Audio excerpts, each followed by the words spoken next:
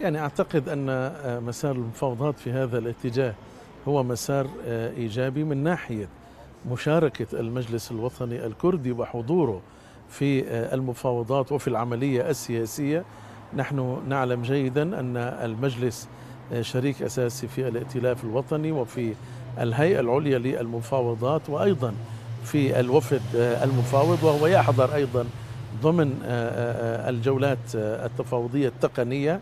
ومشارك فيها وليس هناك خلافات تذكر في هذا المجال. أعتقد أن المشاركة يمكن أن توصف بأنها مشاركة بناءة ومثمرة أيضا.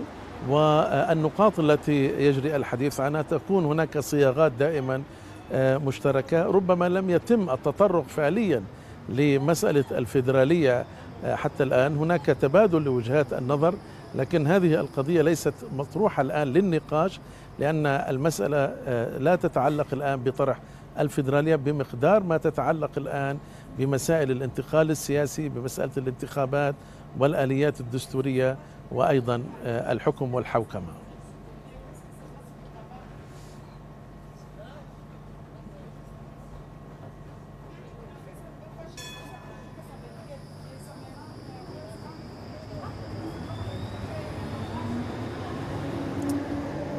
كما أشرت نحن نعتبر أن الكرد هم جزء أصيل من الشعب السوري ومكون أساسي بكل تأكيد. كما كانوا في المجلس الوطني السوري في البداية هم شركاء أيضا في الائتلاف الوطني ومن ثم في الهيئة العليا وفي المفاوضات. وبالتالي هم حاضرون في تفاصيل العملية السياسية بشكل كامل.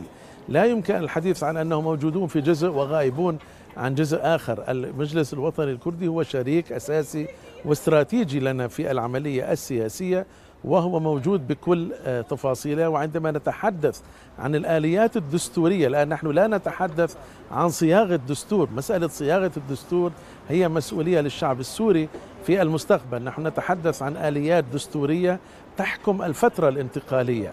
هذه الآليات الدستورية يمكن أن تكون بشكل إعلان دستوري والجميع بكل تأكيد مشاركون فيه وأعتقد أن الإخوة في المجلس الوطني الكردي موجودون على كافة المستويات.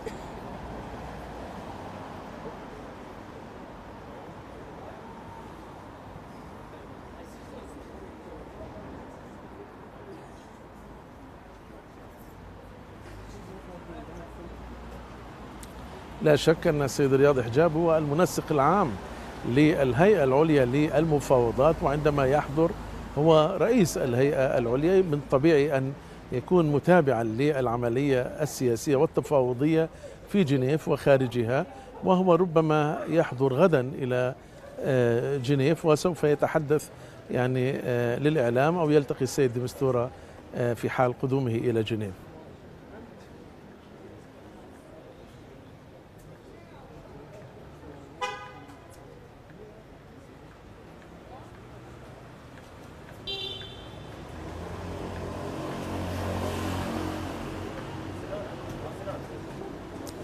يعني أستطيع أن أقول أنه لا يمكن الحديث عن نتائج غير تقليدية أو طبيعية بهذه الجولة السابعة. للأسف أمضى السيد دمستوره الفترة الماضية وهو يتطرق إلى القضايا التقنية بدرجة كبيرة وكان يتحادث مع وفد المعارضة أكثر منه مع وفد النظام. لكن في هذه الجولة بدأ مفاوضات تقنية مع وفد النظام.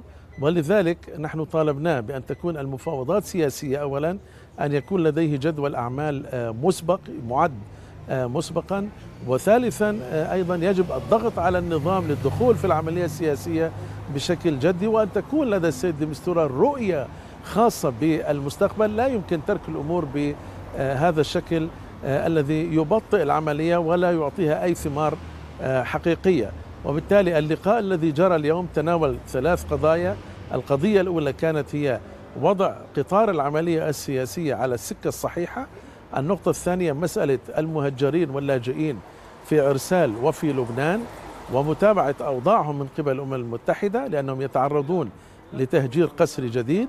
وأيضا النقطة الثالثة هي قضية آلاف المعتقلين الموجودين في سجون النظام والمفقودين والذين لم يتم حل هذه القضية في أستانا.